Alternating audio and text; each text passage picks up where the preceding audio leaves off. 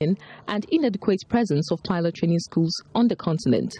However, Minister for Aviation Joseph Kofi Adda says Ghana will soon be hosting a pilot training school to help close the gap.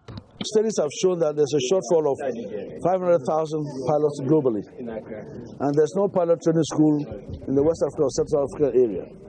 So we've set measures in place to make sure that we are able to set up a pilot training school in Ghana uh, in the shortest possible time. Uh, once that is set up, we can train more Ghanaians uh, from all levels, whether they are technical school, polytechnics, university, what have you. They go and learn how to fly, and once they, they're able to fly, get their licenses, they can support the Ghanaian airline that's going to be setting up very soon, and then the other commercial uh, uh, airlines that are operating in Ghana. Or they can go out of the country and serve other airlines globally and bring some money back home. The minister spoke after a meeting with Ghana's youngest female pilot, Audrey Swatson.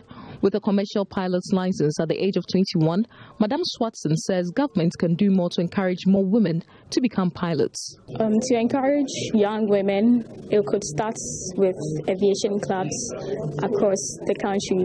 That way, we would be learning something related to aviation, but it will come in a fun way. And then through that, we will develop our passion and an interest to go into the aviation industry. The government could also support us by offering um, aviation scholarships for women, especially to pursue courses in the aviation sector.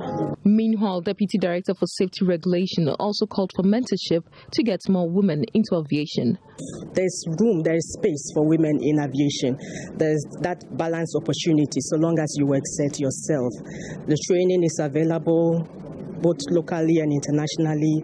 And so they, they should make that move and join us. And we would we would serve as mentors and then assist and guide them and put the desire that they need for them to enter any of the fields, either engineering, air traffic control. We have nine female air traffic controllers right now.